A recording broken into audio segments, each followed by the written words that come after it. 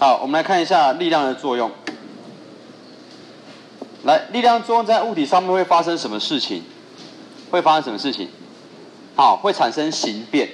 好，你看看那个普悠玛号，哦，那连铁轨呢，整整个都被呃都被缠起来了，连铁轨都变形，然后铁轨是直接插到车厢里面。你有看到那个新闻画面吗？哦，那可见的呢，它当初发生这个呃脱轨的时候呢，那个冲冲击力是非常非常大的，才会这个样子。所以力的作用呢会产生什么？产生形变。好，第二个呢还会干嘛呢？改变物体的运动状态。OK，好，什么意思？我们一样用普悠玛号做例子。好，你普悠玛号呢本来是高速行驶的，那这个发呃发生了脱轨事件，产生巨大作用力之后，它后来的运动状态是变成怎样？变静止的。可是由于你是在极短的时间之内，从高速的运动的状态瞬间变静止，所以这个这个冲击力，这个作用力是非常非常大的。OK，好，所以呢，呃，这个力的作用呢，就让普罗马号产生了形变，也改变了它的运动状态。啊，这是我们力的作用，好不好？好，可是我们要如何测量这个力量的大小呢？好，比如说你们这个，啊，会不会男生可能有时候哈，小时候可能国中比较会，现在可能比较不会，有时候会来比说谁力气大，对不对？会不会？阿出把对不对？可是这样只能比说我的力气比你大，可是你的力量力量到底有多少？你没有一个数据去量测。好，那我不知道你们这个年代，你你现在这年纪应该比较没有遇到。你知道老师小时候呢？那个到处都是电动玩具，你知道吗？那夜市到处都是电动玩具店。你们你们当然没有经历过那个时代啊。好，以前那个电动玩具店是不，你你们现在要打电动玩具哈，我我说的是那种大型机台的，大家都只能去那种呃百货公司里面会有那种汤姆熊，类似那种东西，你才会看到比较那种大型机台的这个电动玩具。可是以前是那种在夜市里面有没有三步就一间电动玩具店？好，很多间很多间，然后其中有一种有一个机台呢，老师印象很深刻，它是一个那个有一个像是打那个拳击的一个靶，然后你会，然后他的旁边有那个拳击手套给你戴，然后你就可以去打，然后它荧幕后面就会出现一个坏人这样子，那你要打他，看你他好像最多有三拳击，你三拳之内要 KO 他，然后你每每一次打下去，他都会显示说你这一拳有几磅，你们有玩过这个游戏机吗？好，那我们年纪没有差很多嘛，对不对？好。所以呢，那个就是把力量给量化了。可是我们的力量量化呢，啊，实物上是要透过什么样的仪器来做一个测量呢？我们是要透过什么？我们要透过弹簧。为什么？因为弹簧是一个很呃很容易去观察它的形变量的一个东西。啊，而且呢，我们对弹簧的认识也很单纯。你只要给弹簧越大的力量，它是不是就能够产生越大的一个形变量？哦，所以我们会用弹簧呢来量测我们的力量。好，所以我们来看一下弹簧的性质，好不？好，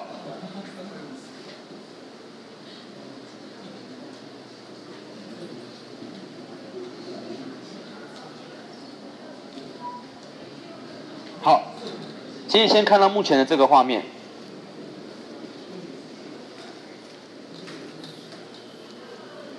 好，你看到这么画，那么画，说明一下这在干什么，好不好？好，说明一下这在干什么。来，这是说呢，我的弹簧啊，原本的长度是 L 零，可以吗？那我用一个力量拉它之后，它会被拉长一段距离。啊，那如果你用更大的力量来拉的话，它的被拉的距离会更长。你说老师，你你这样我怎么知道你的力量有变大一点？我们学过向量的，好不好？你这个箭头如果长一点的话，代表力量比较大。所以呢，我们发现了，对弹簧而言呢，你用越大力量拉它的话，你能够得到的形变量就会越大。那我们把这件事情给量化，用数学关键式来表现的话，就是虎克定律。好，这是国中学过的内容。好，我们很快的复习一下。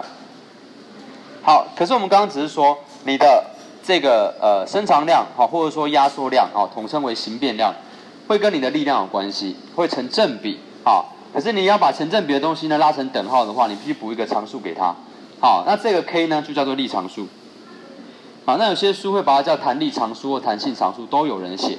可是最正确的名称就叫做力常数，OK？好，好，那再来，到目前都是国中生都会的东西，可是接下来要讲的是细节了，好，要讲的是细节了。来，其实啊，胡克定律这个 F 啊，其实大有玄机，什么意思？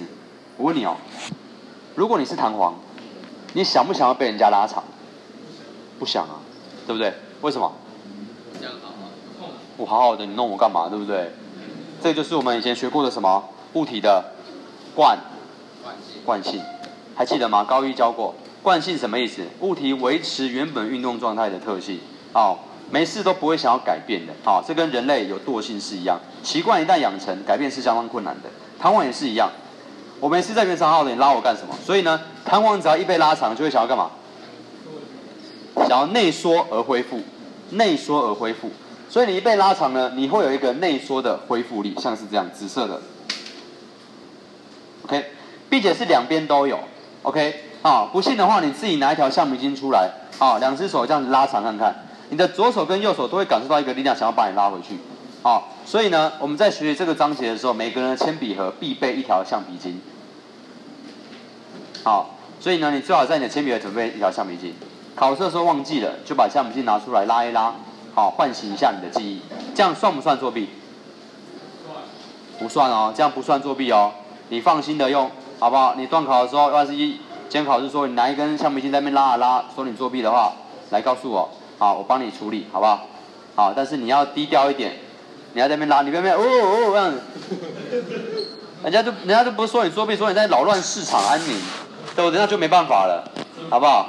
好，就轻轻的在自己的桌子范围那边稍微拉一下，动作不要太大，人家以为你在干嘛？搬家还是怎样？哦，那边捣蛋。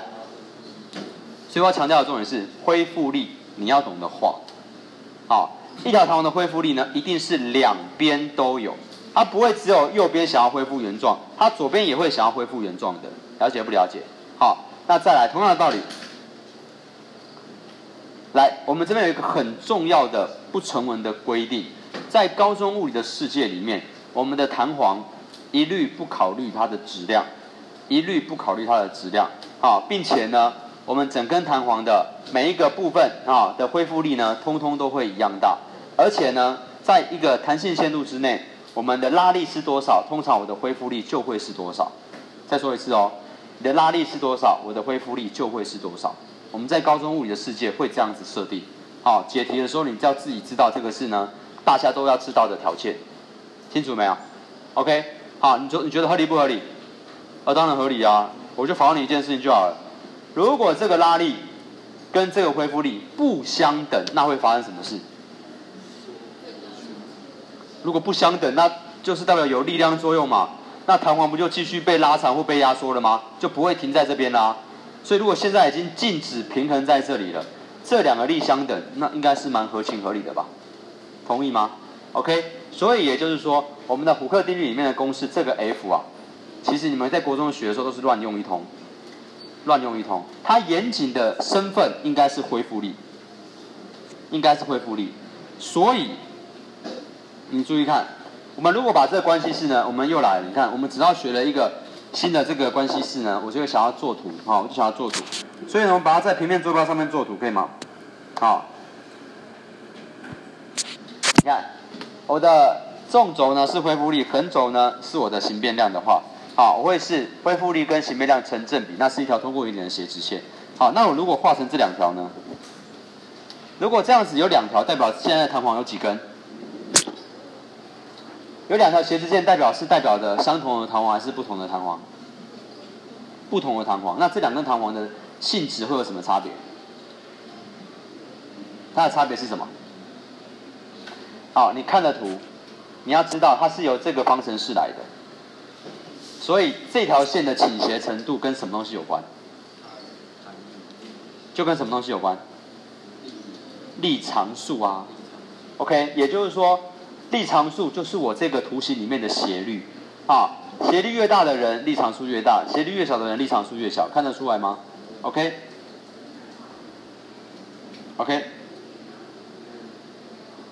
好，最后。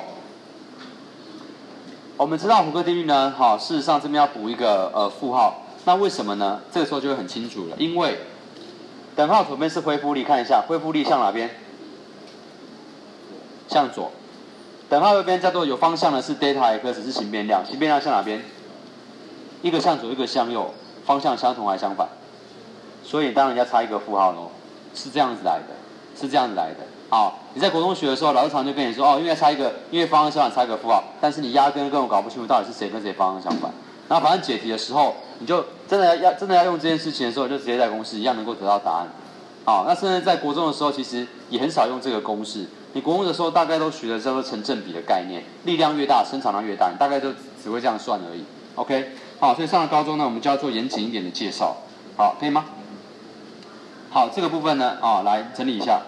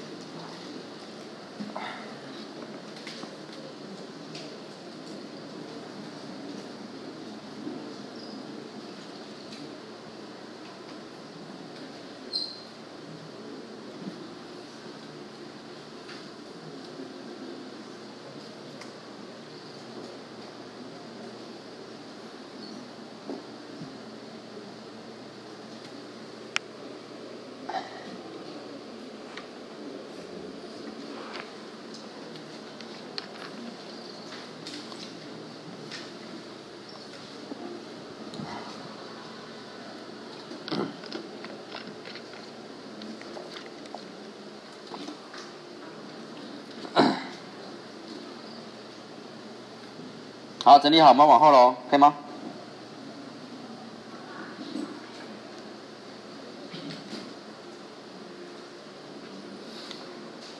好，最后提醒一件事情，好不好？来，我们说红色这条斜直线代表呢，啊，是弹力常数比较大的弹簧；紫色代表弹力比较小的弹簧。可是弹力常数大跟小的差别到底是什么？好，来注意了，K 大难拉难压。K 小易拉易压，并且最后最后一个提醒，我们在虎克定律里面呢，力量的单位会是用牛顿，形变量的单位呢原原则上是用公尺，如果用 SI 制，所以 K 的单位就会是什么，你知道吗？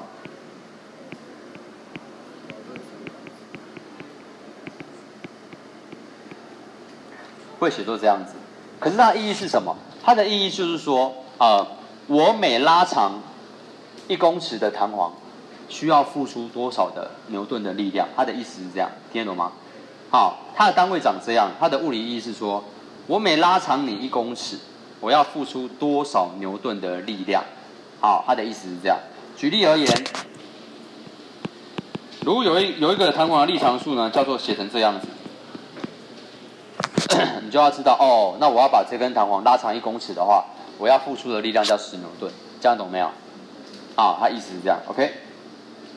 好，OK，我们就往后。好，接着我们就谈，我们要教重要的这个弹簧的串并联了。来，首先我们先看弹簧的并联哈，啊，并联并联呢，顾名思义就是它们，它们并排在一起。就像路边并排停车一样，有没有看过路边并排停车？啊，并排停车是很危险的事情哦。等你们以后有长大啊，有骑车有开车的时候，千万不要并排停车，啊，因为这样会造成害别人发生车祸。所以呢，两根弹簧呢，啊，左右排列在一起，这叫做并联。那如果你同时来拉它们的时候，你会感受到的感觉是什么呢？注意听，你同时拉这两根弹簧，对你而言，啊，如果这是一个箱子。中间盖住的话，你知不知道你在拉两根弹簧？其实你不知道哦，你只感受到觉得有点难拉，还是还蛮好拉的。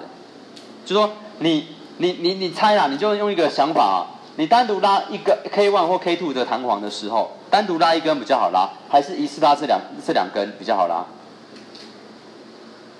一次拉两一次拉两根应该算是比较难拉吧。所以可想而知，你这两根弹簧并联起来。如果我们把它等效为另外一根弹簧的话，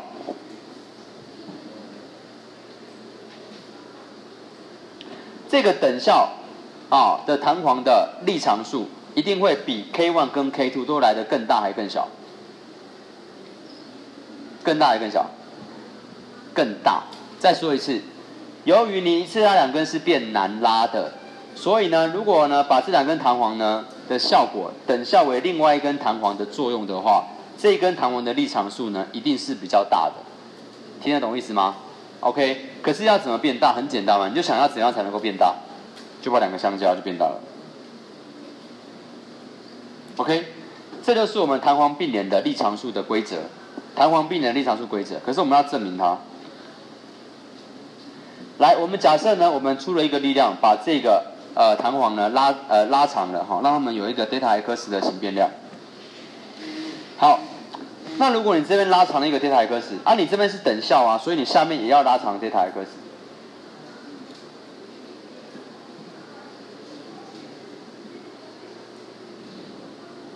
OK，来说明哈，我在写什么呢？来，我们这个拉长的过程呢，都是一个力平衡的状态。所以先看上面这边，我出的这个力量 F 呢，会跟呢一号弹簧的恢复力 F one，二号弹簧的恢复力 F two 呢，好互相抵消，也就是 F 会等于 F one 加 F two，这个关系应该是没问题的吧？大家可以接受吧？OK，好，就像是拔河一样嘛，大家势均力敌啊，这个一个人哈的力量跟这两个人的力量相当啊，好会有这样的结果。OK，好，但是呢，我们再看下面这张图，如果这根等效弹簧在这边啊，我们也会发现这个并联之后的弹簧的恢复力，它一个的力量也会直接跟 F 做相等啊，所以啊，也就是这个并联的力量会跟 F one 跟 F two 做相等，像是这样子。OK，因为这两个力相等，啊，所以呢，并联的等效弹簧的并联恢复力跟原本的啊两根弹簧的恢复力相加的结果要是一样的。到目前为止可不可以接受？可以吧？好，那再来我们运用虎克定律，F 等于 K 啊 delta x。那我要先强调，虎克定律的负号值代表方向性。那如果你只是在讨论一些力量的量值啊的处理的时候，你是不用呃不用考虑它的方向性的，可以接受吗？OK。所以并联之后的恢复力呢，你就用并联之后的力常数乘以并联的伸长量。那一号弹簧的恢复力，你就用一号弹簧的力常数乘以一号弹簧的伸长量。二号弹簧的恢复力就用二号弹簧的力常数乘以二号弹簧的伸长量。那你会发现这个伸长量全部都一样，你就会全部消掉，得到这个结果。啊，你就会全部消掉，得到这个结果，可以吗？好，这是个我们这个并联的部分。好，这是我们并联的部分。OK。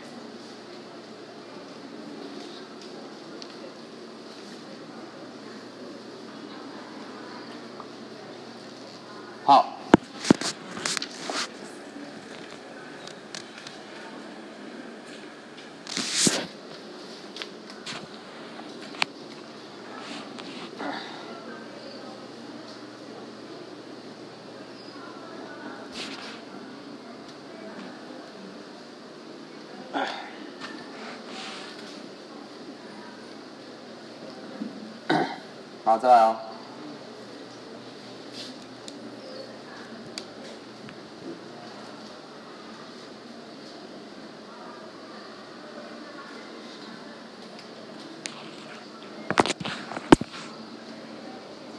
好，接着我们来看下一个概念。那串联呢？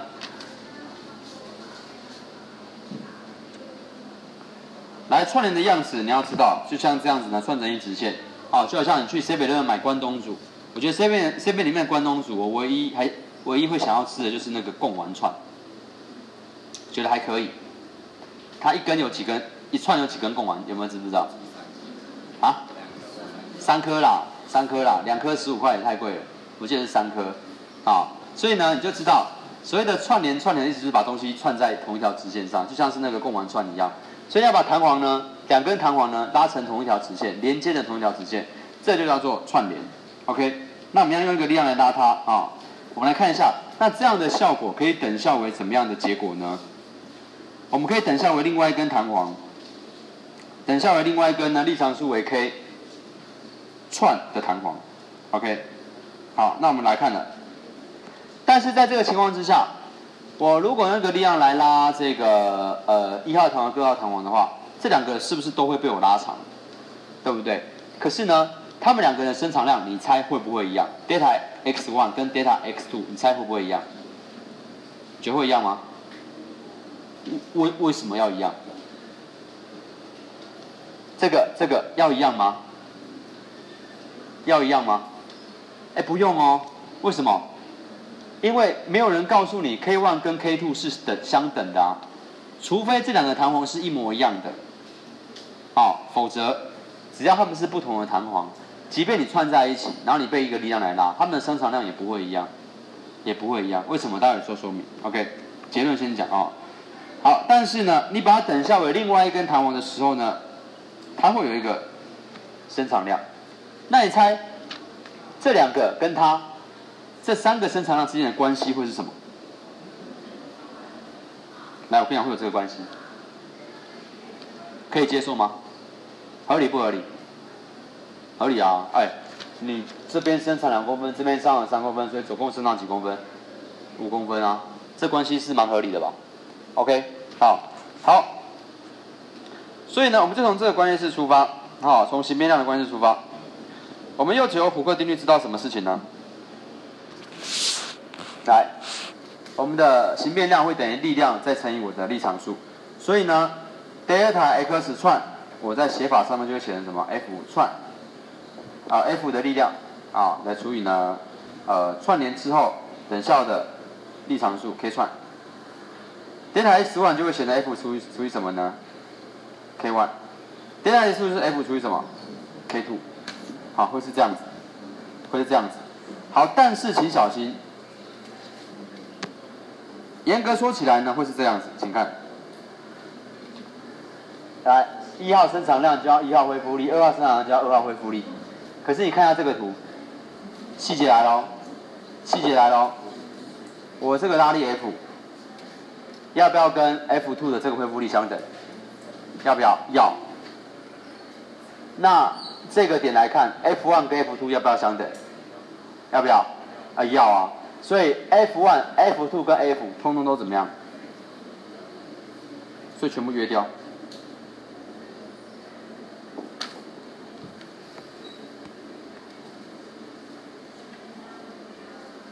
来，这就是我们串联的时候。弹簧串联的时候，啊的等效力常数的公式，OK，这边要小心哦，这是 k 串分之一会等于 k 一分之一加 k two 分之一，你要去做一个等效，OK。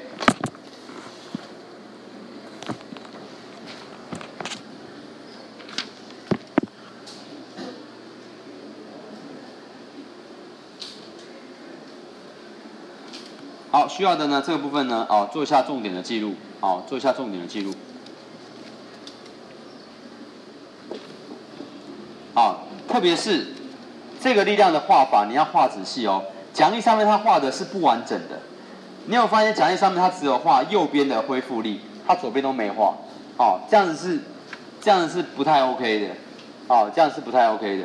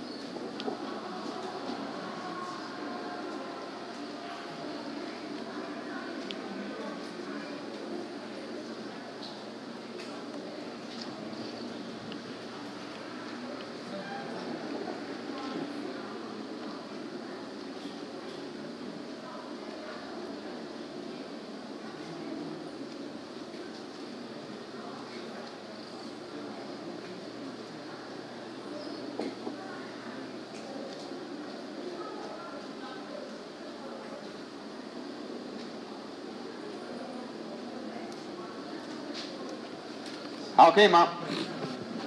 来，可以的话，我们就来做一下例题的练习了，好不好？我们看一下这边的例题一。来，请你看一下例题一的题目，好不好？我们待会处理。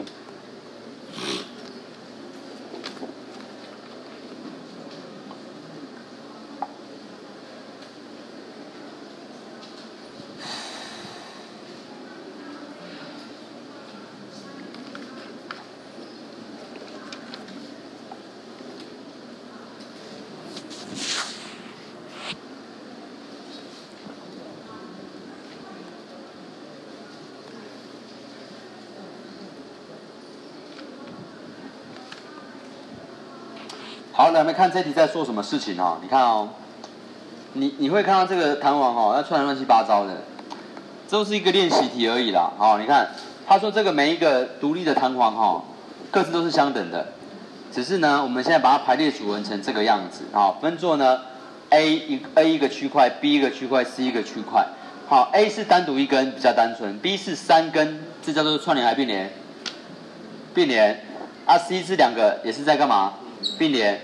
所以这三根并联的弹簧呢，我们可以把它等效为单独一根大弹簧。那这个大弹簧的力常数呢，就会从原本的 K 变几 K？三 K。因为我们说过并联的话，你要心中要记的是，并联是变好拉还是变难拉？到底有没有在上课啊，同学？并联是变好拉还是变难拉？变难拉，力常数要变大还是变小？啊，变大，所以你要相加一个 K 哦，三个并在一起变三个 K。好，啊这边是两个并在一起，所以它几 K？两 K 啊，它两 K 啊。好啊，然后嘞，题目问的是什么？他说。我发现呢，CJ 组弹簧哦，它的伸长量是伸长多少？伸长，呃，伸长 x 是不是？C 伸长了 x，那整体会伸长多少？他问这件事情，所以他的他的问法呢是环绕在这个伸长量上面，所以就看到伸长可以表示成这样啊。好，那注意一件事情。我们现在力量在这边拉啊，所以最后呢，我们会视为什么？这个有一等于是视为什么？你知道吗？有一个力常数为 K 的弹簧，啊，跟三 K 的串在一起，再跟二 K 的串在一起，最后的结果是串联。所以呢，每一根弹簧的力量呢都是 F，都是 F。好，所以在现在这个状态呢，我的力量是一个定值，在此题里面，我的伸长量会跟我的啊力常数呢成反比。所以呢，人家问的是最后整体的伸长量，你就把最后整体呢的等效的力常数重新再算一次。所以呢，最后这三个人 K、三 K 跟二 K 串联串在一起的等效力常数怎么算？来，K 串分之一等于什么？啊，K one 分之一加 K two 分之一加 K 三分之一，啊，就是这里的 K、三 K、二 K 这样子摆。OK。这样做摆放，然后呢，等号右边先干嘛？先通分，先通分，看看会变成什么样的结果？会变成六 k 分之十一，对不对？好，可是你要的这个地方在分母哦，你要把它导数过来，所以 k 串要会是十一分之六 k，OK？好，那为什么要做这件事情呢？因为我们就要跟题目给我们的线索说啊，二 k 的人伸长了 x，那。呃，十一分之六 k 的人会伸长多少呢？请看，来，因为我们的形变量跟力常数成反比，所以呢，c 比全部啊伸长量啊，c 的伸长量比全部的伸长量，就会是用啊全部的力常数比上呢 c 的力常数，这叫成反比。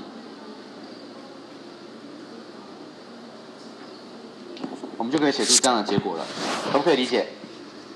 来，你先这样整理哈，待会我再提供你另外一个看法，好不好？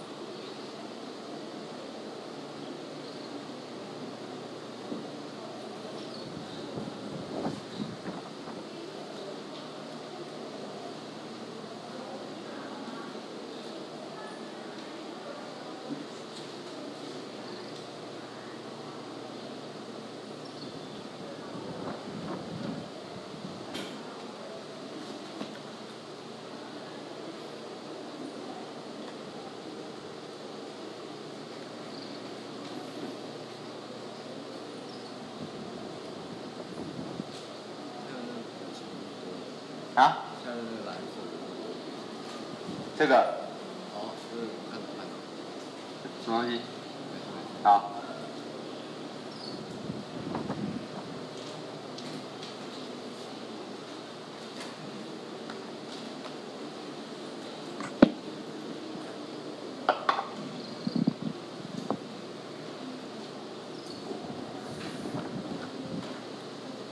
来，你先整理这个啊、这个是标准做法啦。那我待会再介绍你一个比较简单的想法。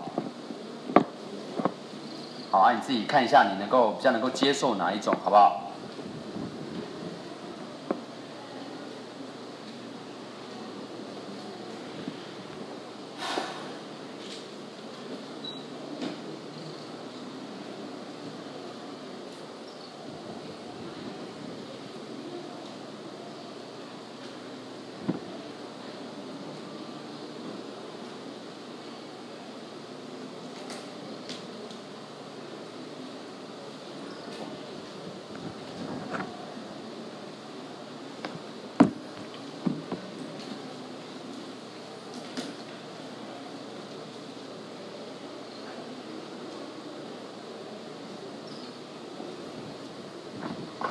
不好意思，我接个电话。喂，你好。对。对。没人，应该看。一下电话。对，理论是有的，不然我给你个电话好不好？对，二七八八三三八五。对。这个时间照理讲应该是有人。嗯好谢谢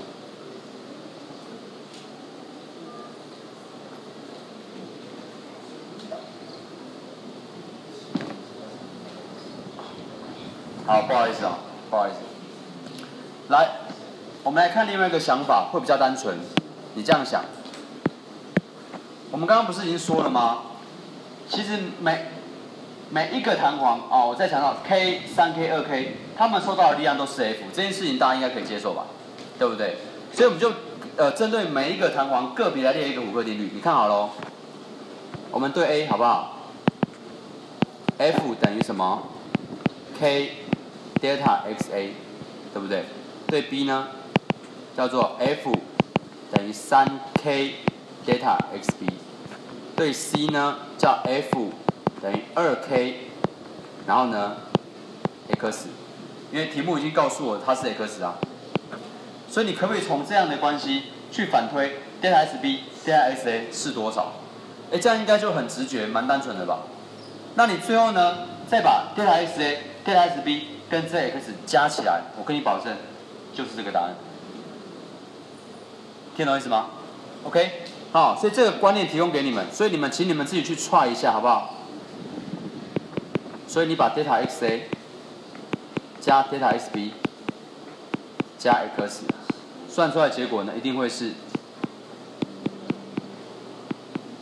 OK，好，所以这个方式也请你们去尝试一下，好，也请你们去尝试一下，OK。反喂喂，对，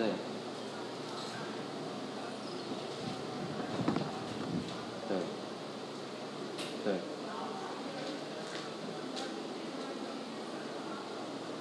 对。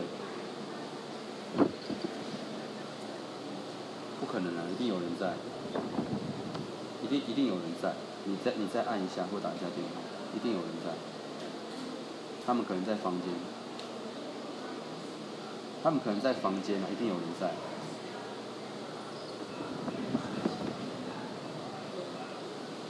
嗯，那我给我给，明天早上？因为因为你你今天来就不用再多跑一趟了。啊，好，不然你再看看，不然就明天明天再来，但是早上不要太早。啊，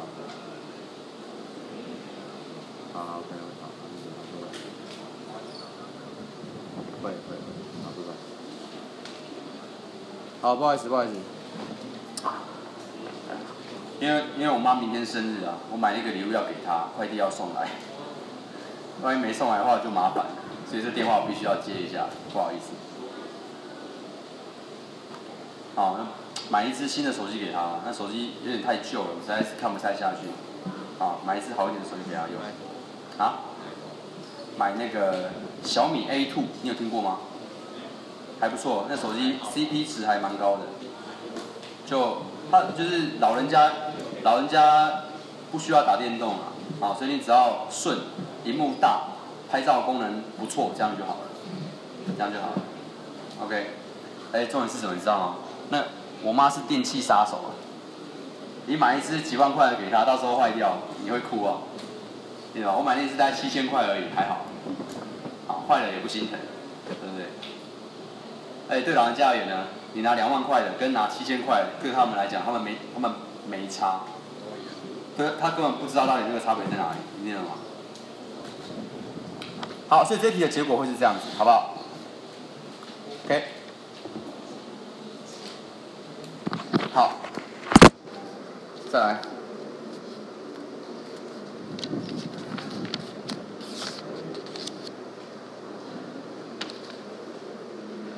好，剩下的时间哈，我们可能来不及再解新的题目了。好，但老师想要跟你们分享一个事情，我跟你们聊过吗？那个就是那个昨天不用马号有一个新闻，我不知道你我跟你聊过吗？就是呃，交通部说哈，为了要让呃普悠马号安全哈，我们要。把不要马号过过弯的时候的时速从原本的七十五降到四十，你知道这件事吗？知道这件事情举手。有人有看到一些新闻，对不对？好，有大部分可能没有去注意。那我现在告诉你，新闻的重点就是这样。他说，呃，在还没有厘清普悠马号发生事故的原因调查报告结果出来之前，为了安全起见，我们把过弯的速度从七十五降到四十。你觉得这样的一个呃一个方案？你觉得 OK 不 OK？来，你稍微思考一下再回答这个问题。好，那我们来看一下大家的意见。好，那我我也再次强调，这是民主的社会，好不好？你可以有各各自不同的角度跟想法，都好的。啊，我只是想了解一下现在高中生对于这种重大社会事件的一个看法。好，好，那可以了，问题也清楚了。那请问，觉得这样的做法觉得还 OK，没什么太大的状况，没什么不好的，请举手。都没有吗？真的假的？那你觉得这样子不太 OK 的举手。好，放下。那有没有人可以跟老师说，你觉得不太不太 OK 的点在哪？啊？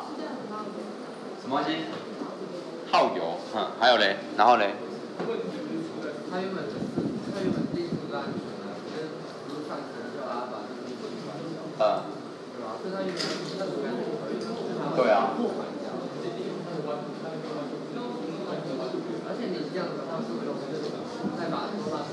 好，来，我看到老师就直接讲了哈，没时间了，来，赶快，因为我我跟你讲，这个政策对老师老师来看是觉得非常不 OK 的，为什么？来听我说话，因为完全画错重点，完全画错重点。普悠马号的特色，它是一个倾斜式车厢，你在过弯的时候，它车身会向内倾斜，为的是干嘛？增加过弯的时候所需要的向心力。所以呢，当初我们的过弯速度七十五这个数据呢，完全是一定是在原厂设计公司经过多方的测试跟计算之后给出来的一个绝对安全的过弯速度，听懂意思吗？甚至连误差范围全部都考虑进去，这个绝对是一个安全的过弯速度。好，当你今天你不用马号，好，进弯的速度是多少？你知道吗？有没有都没有看新闻哦？一百四十。哎，你用一百四十的速度冲进弯道，什么车都翻的啦，好不好？什么车都翻，除非是那种 F1 赛车，你在赛车场里面，你还才有机会用这么高的速度过弯，不然什么车都翻了。我跟你讲，所以他根本画错重点。好，重点不在于呢，你的过弯速度到底是七十五还是四十，而是你怎么会以一百四十的速度冲进弯道，这才是重点。所以那官员在做制制制制定这个政策的时候呢，完全的搞不清楚方向，你就让人就会觉得说，我们的国家这些这这些官员脑袋是不是都装大便？好，所以你自己去多了解这个重大社会事件，好不好？好，我们先到这边下课。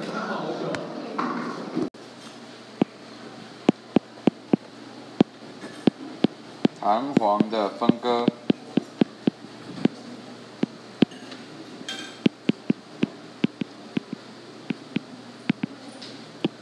来，那弹簧的分割啊、是在说些什么事情呢？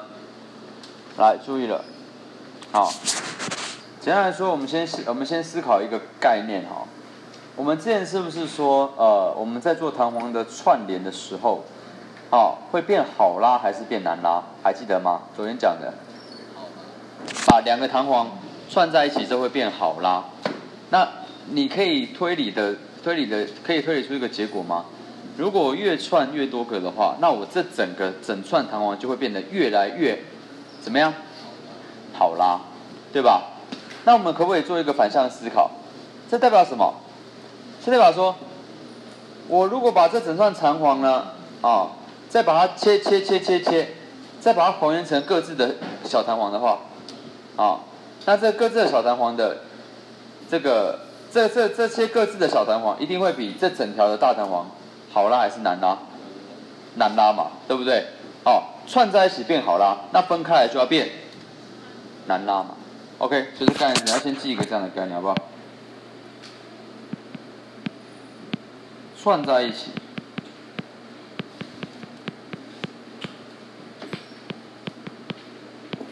好啦，啊，然后呢，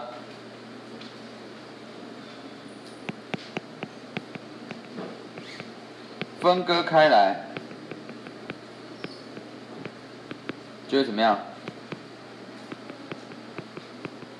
难拉。啊，这是我们刚刚呢可以引导出来的一个概念。那什么叫好拉呢？K 小。什么叫难拉？K 变大。啊，K 变大。OK。好，K 变一个是 K 变小，一个是 K 变大。好，好，所以我们就来做一个简单的举例跟说明了。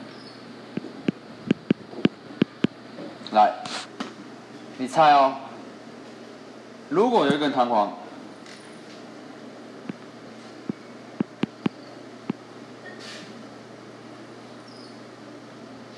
整根在这边的时候，它的力常数叫做一个 k OK，。那如果我把它呢分成两段，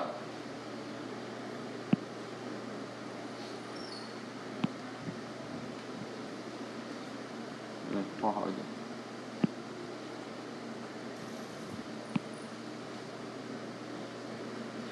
如果我把它拆成两段的话，这两根小弹簧的力常数还会是 k 吗？一定会变得比 k 大还是小？好，再问一次，我把一根弹簧分割成两根小弹簧，好，那这个小弹簧会比原本的那根大弹簧好拉还是难拉？难拉嘛，中文都写给你看啦，可以吗？难拉可以变大还是 k 变小可以变大，那你猜？哦，原本是一个 k，那一分为二之后，这个小弹簧会变几个 k？弹簧的力常数你猜会变几个 k？你猜会变几个 k？啊？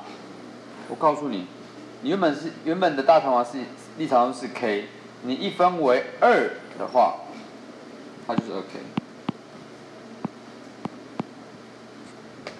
OK，OK，好。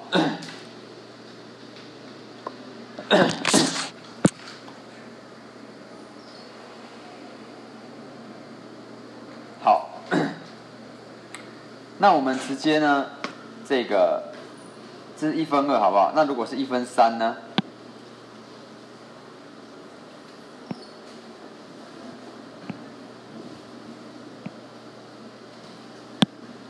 他们就个别都是几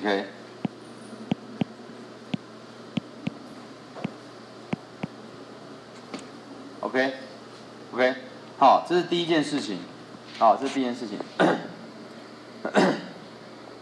好，那接着呢，我们来看一个结论哈。那如果说我现在不是呃这么呃完美的都是均分，好，我们是一分二或一分三，这个叫做等呃二等分或三等分，都是一个均分的概念。但是如果我不是均分呢，比如说我是分割成呢啊两个弹簧，可是长度比是二比一的话，啊，如果是这样子，比如说是这样子。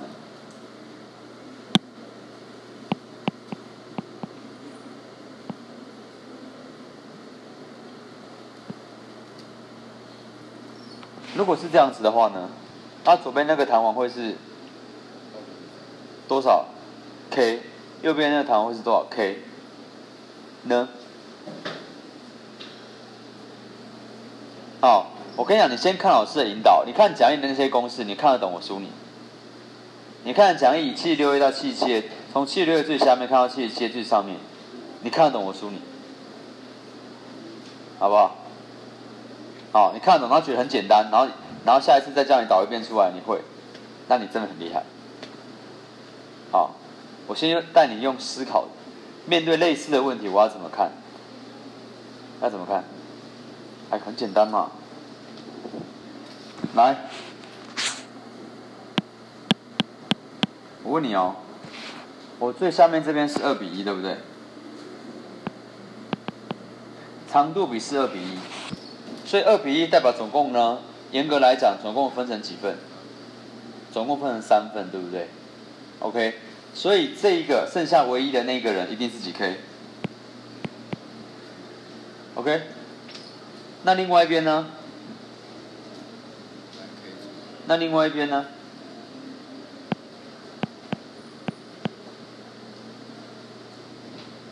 可以猜得到吗？来说明。你就想哦，这个结果你可以从这边来往下推导。为什么？你本来是均分成三等份，OK？那你只是把左边这两份再串在一起而已啊。听懂意思吗？那右边这个呢没动啊，所以三 K 三 K 下来啊。那你再你再思考一件事，我把两个弹簧串在一起，我把两个弹簧串在一起，我的力常数会变大还是变小？变小，而且这两个弹簧是一模一样的，那会变多小？二分之一啊，对不对？你自己带这个串联的公式有没有？k 串分之一会等于呢？k 分 k one 分之一加 k two 分之一啊，所以呢，我们来看一下这个三分之是怎么得到的？啊，带串联的公式，k 串分之一会等于 k one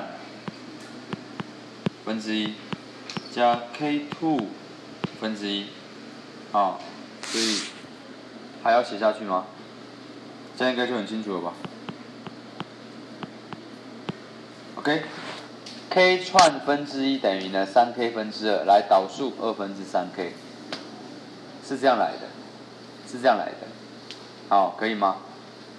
好，继续最后做一个推广。好，那如果我是五等份呢？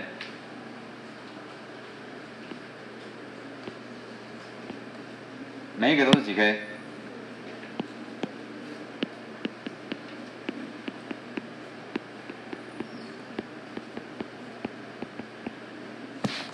是不是这样子？OK，好，那如果我说，我把它割成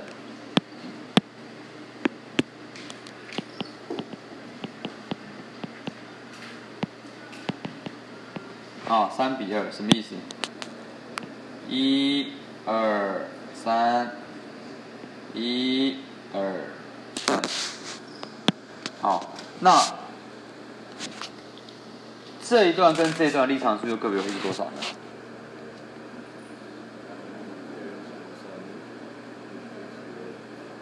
啊？会变多少？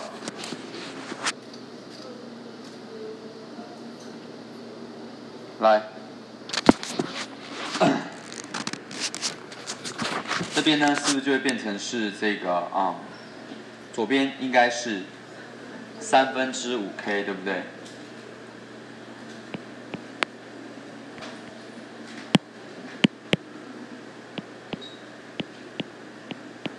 右边呢？好，非常好，好，好，所以呢，呃，数字的部分给你们看，你们都会做操作了，你们都会做操作了。那我们就来再思考一下，那这个公式到底是怎么回事？你看它讲义的七十六页最下面，你看哦，他说什么？将力常数 k 的弹簧分割成长度比 m 比 n 的啊两段弹簧，好，那这两段弹簧的力常数是多少？来，啊，呃呃，km 等于 m 分之 m 加 n，k kn 等于 n n 分之 m 加 nk，这你记得住吗？我是记不住啊，我也没有记住过。好，只是呢，我们先这样讲之后呢，我帮你引导一次。你看，左边这个是三等份的，这长度比叫做三比二。那三分之五 k 的结果是怎么来的？OK，因为我是本身是分到三份的长度的，所以我的分母是三。我的分子应该要怎么写？来，三比二，所以呢，总共是三加五二，总共五份。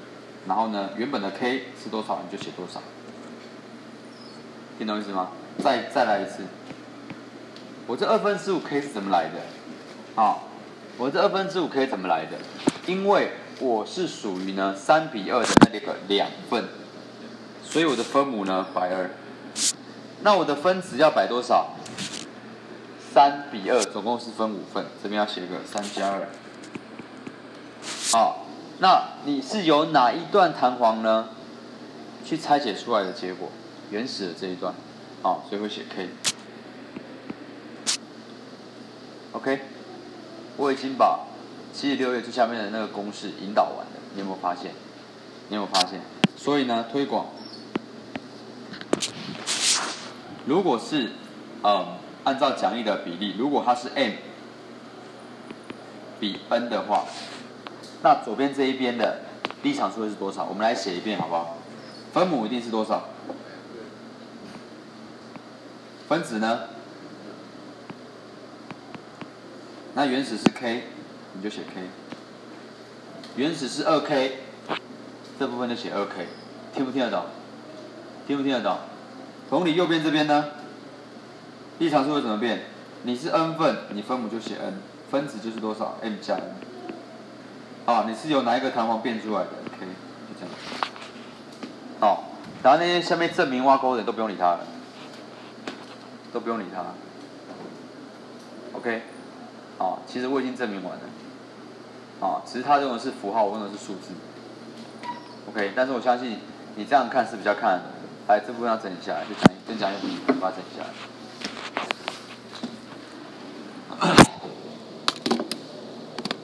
好，你把它整理下来。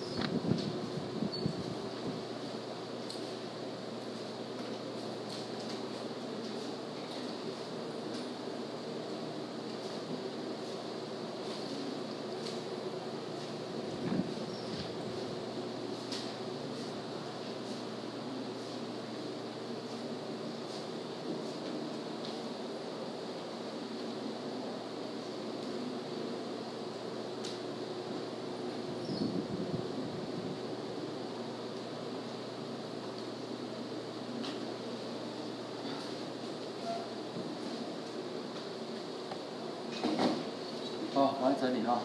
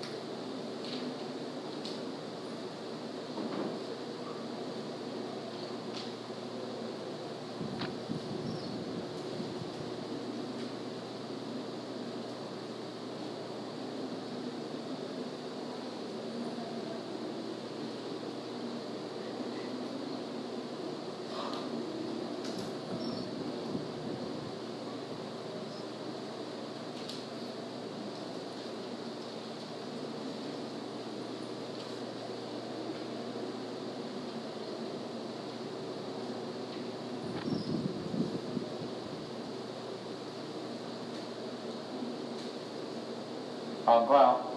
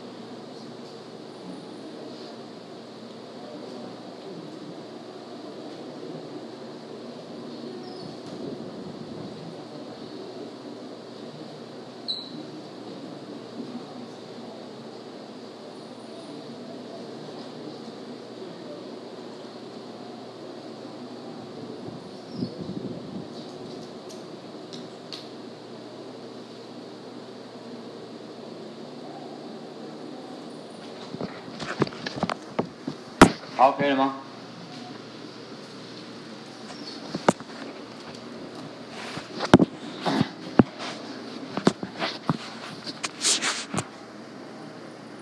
好，那最后呢，再做一个呃提醒跟重整，好不好？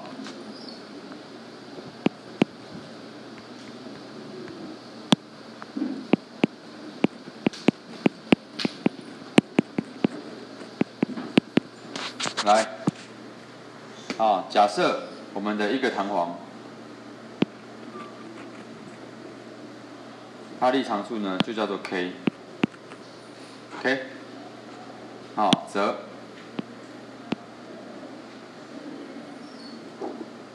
如果是串联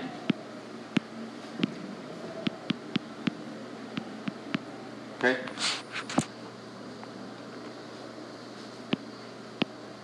串两个，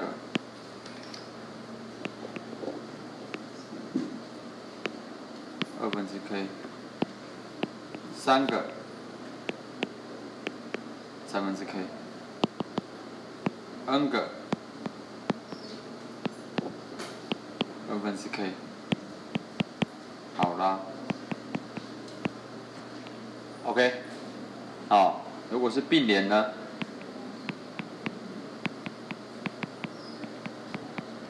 来，如果是并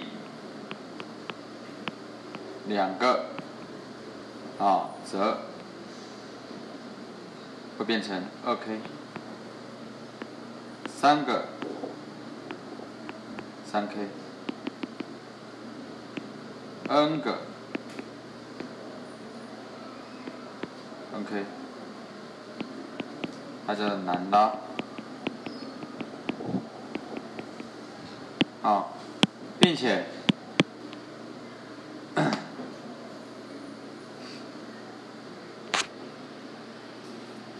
好，这个是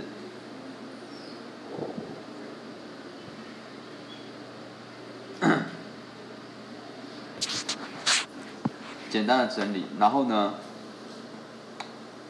如果是分割。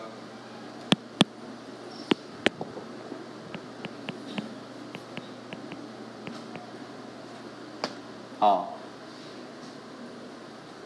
均分的，OK，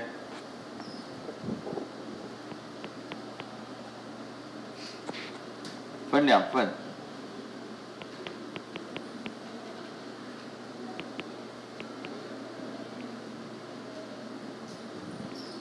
，OK，分三份。三 k，n 份，割成 n 份，OK。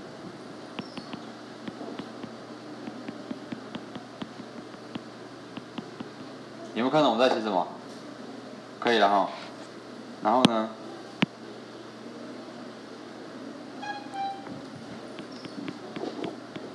分成 m 比 n 的话，好，则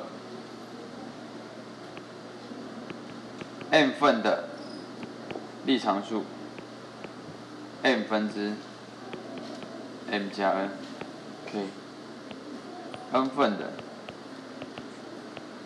n 分之 m 加 n，k，好，全部整理完了。来，请你把这个再整理，这个同整呢再整理下来，好不好？我们就可以去解题了。好，我们就可以去解题。然后如果并联的常数不一样，什么东西？并联的常数不一样，并联的常数不一样，没差，因为并联是相加。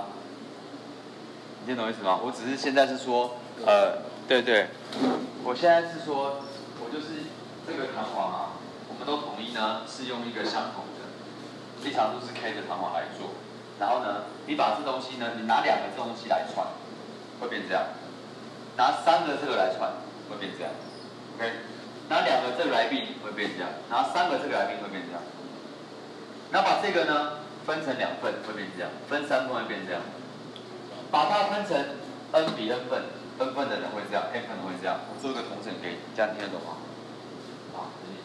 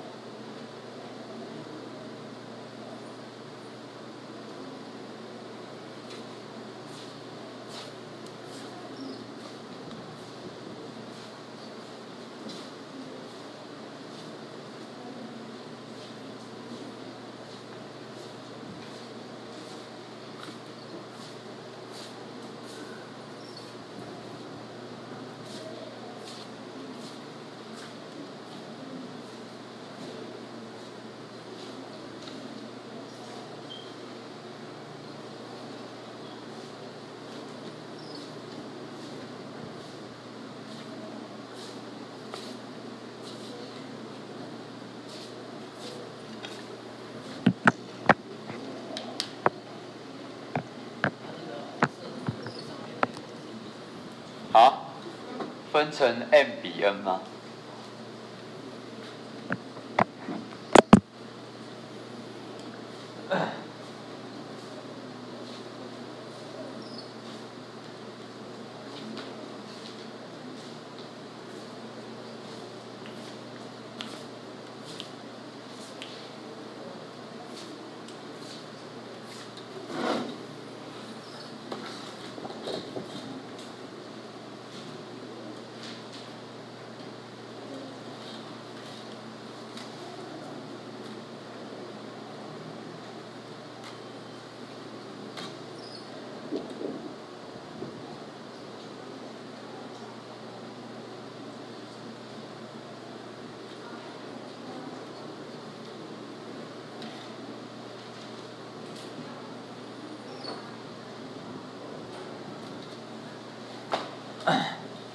好，可以吗？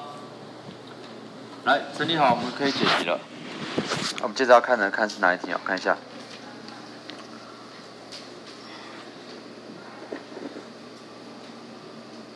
来，我们接着要看的应该是范例二，我们看范例二，好不好？好，我们来看范例二。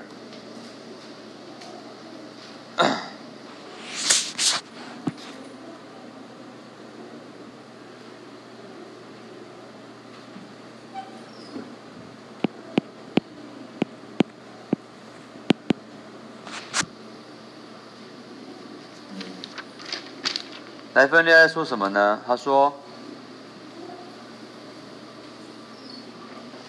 他的意思是这样说的哈。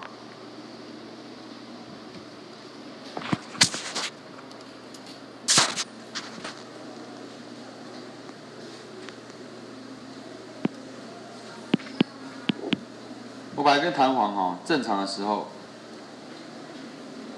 原长摆这边是这样。挂状物会变这样，然后伸长了八公分。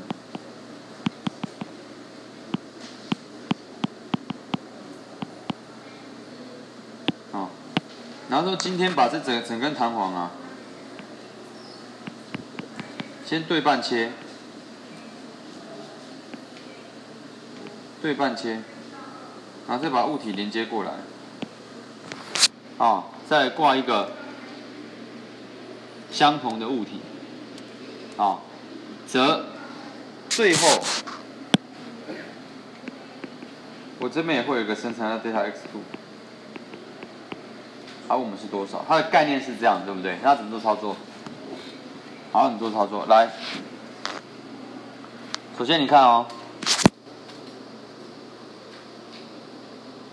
它其实没有给我什么数据，对不对？我也不知道一开始的弹簧是多少 k，我也不知道物体的重量是多少，那怎么办？那怎么办？假设嘛，我们假设原始的弹簧啊，力常数叫做 k，好不好？好。那我我后来最后练最后面是把它分割一分为二，一分为二变几 k？一分为二个别变几 k？二 k 吧，对不对？所以左边二 k，右边也 OK，好吗？好，好，但是呢，啊，我们又知道，按照这样的排列方式，这个叫什么连？这叫并联，对不对？所以我可我可以再次把它干嘛？等效。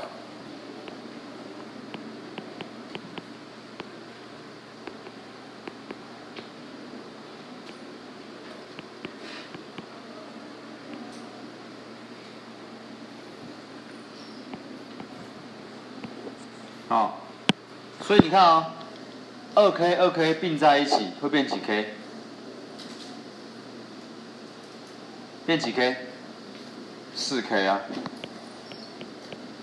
所以等于是说，这题目就变得很单纯了，哈，就等于是说，哎，我有一个 k 有一个 k 的弹簧哦，挂这个重物，伸长八公分，然后另一拿另外一个叫四 k 的弹簧呢，挂一样的重物，你猜它会伸长几公分？如果是我，根本就不用算了，一定是怎样？你一个 k，你 k 是一一个 k 的时候可以拉八公分，你变四倍了。你变好拉还变难拉？变难拉难拉几倍？难拉四倍，你的伸长量就变原本的几分之几？对哈，你都连算都不用算啊。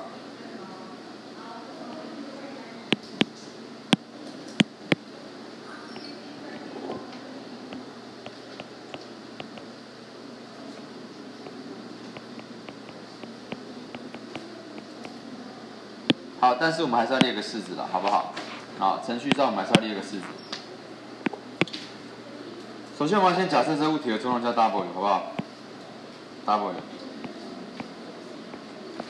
所以，我们现在看一下一开始的虎克定律。好，所以呢，现在是这个物体的重量，OK。让我力常数为 k 的人呢，拉长了八公分，OK。那现在，我后来物体的重量还是 W 啊，可是我的 k 变几 k 了？四 k，那我会变成多少的伸长量呢？就这样而已啊。好，所以两式相除。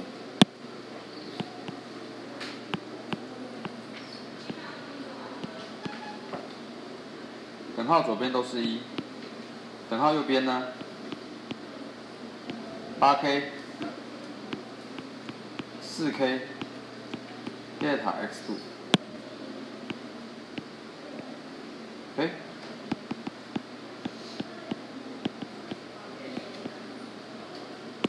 哦，会有这样的结果，可以吗？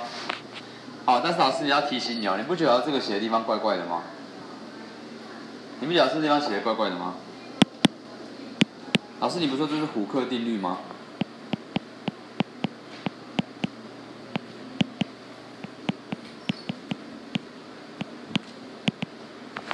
而且你虎克定律，老师你不是说那 F 是恢复力才对吗？你这边怎么直接用重量写？你有没有听懂我我我要你们思考的事情？这就是我跟你们说，你们国中没学好的地方。我们你们在国中算的时候，是反正有力量就能就拿下来当胡克定律了，对不对？好，而且我们那时候也说过，你你这这样的做是概念上不对，可是，在算数值的部分有没有问题？是没有问题的，听懂吗？所以，如果我们只是在算答案的话，你可以直接拿来这样子用，是没有关系的。只是说你自己在这个真的要做力图分析的时候，你要把恢复力给画出来。好，我们我们可以这样子写，可是我要知道它本来的意义是什么。我们只是为了解题简便方便，我们就直接用。好，概念上是这样子，好不好？来，把它整理下来。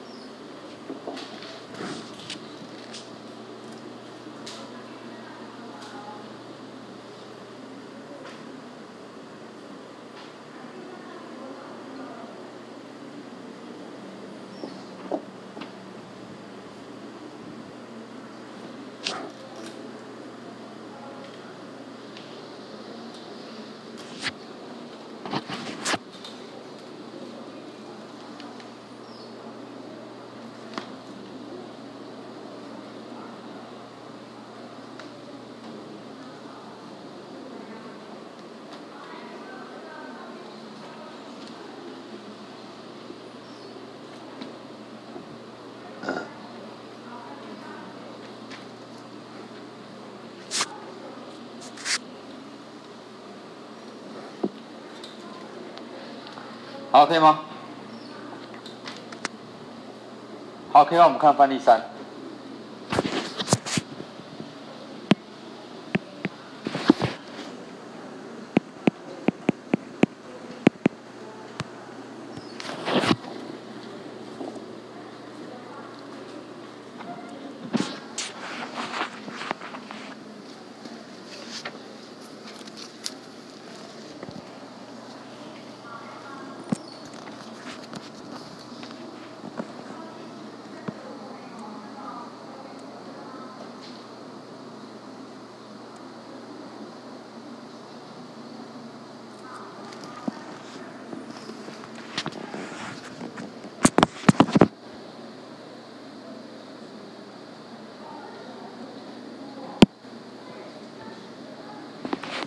来，翻译一下说什么？我有三个弹簧哦，A、B、C 长这样。第三题比较难哦，打个星号。哦，三个弹簧的力常数呢，也通通都不一样。好，并且要告诉我们说，虚线，虚线的位置呢是 M1 跟 M2 原本的位置，然后它们现在呢各自往右偏移了三公分跟两公分。再问我们呢这三段弹簧哈的一些细节跟问题。好，那我们就要来做一些处理了。来，那这种问题要怎么做思考呢？来，第一个，你要看它给的图形跟数据。我们要先把 A、B、C 这三个弹簧，它现在的状态是什么？确定好。什么叫现在的状态是什么？它现在是被拉长还是被压缩？你要确定好。OK。那我们看 A 弹簧，A 弹簧很明显一定被干嘛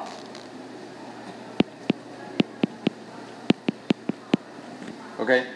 那 C 弹簧一定被干嘛？那 B 呢？B 呢？你觉得是 B 是被压缩还是被拉长？啊？看得出来吗？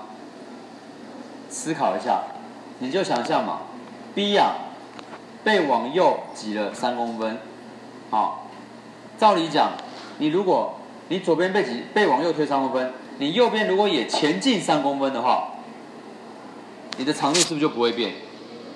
可是你只前进了几公分，你左边被推三公分，右边只前进两公分，代表你现在一定是被干嘛？压缩嘛？这样会不会看？这样会不会看？所以 B 现在是被压缩。好，这第一个要判断好的事情。好，那判断好这个概念之后呢，那就很简单了，把每一个弹簧的恢复力的方向画清楚，好不好？比如说 A A 现在是被拉长，被拉长的弹簧就想要干嘛？内缩而恢复，所以恢复力向内。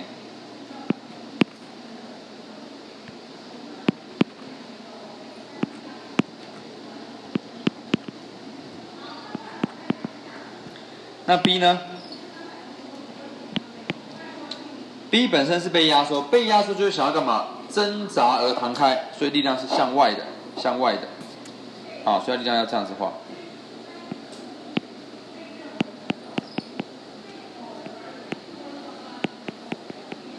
那 C 呢？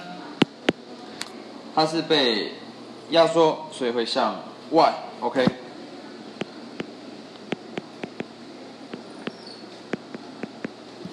好，我们把每个力都画得很清楚了。好，并且呢，每一个弹簧的形变量，我们也都把它设定好。来，delta x a 是多少？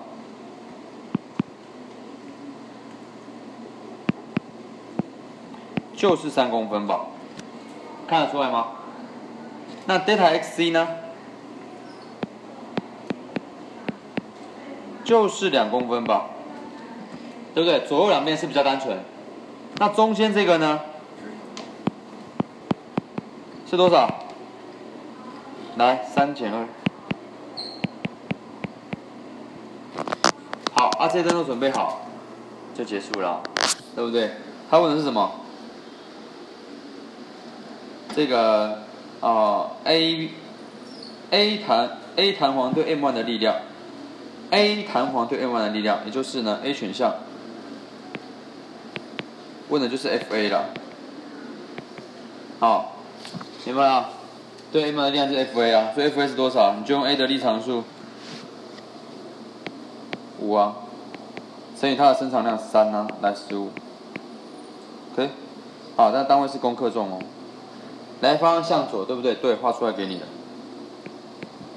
来，B 呢？B 弹簧对 M1 的弹力，那就是用 FB 啊。再算一次而已。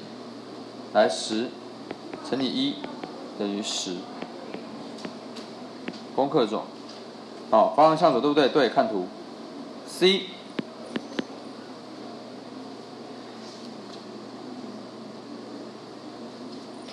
来 M1。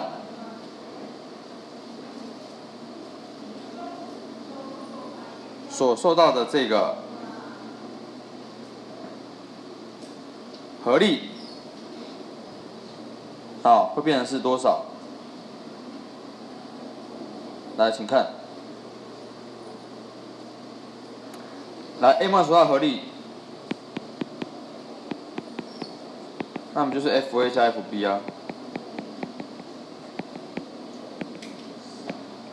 向左，OK，所以 C 不能选，因为它方向错了。好，那 B 弹簧对 M2 呢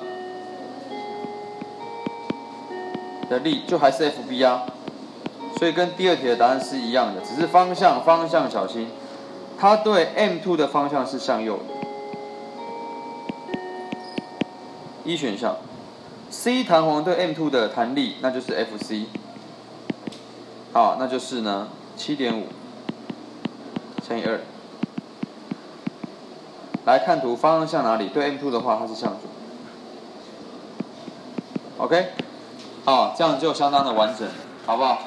好，那这题解完，我们就把弹簧的部分呢全部结束了，好，全部结束了，OK。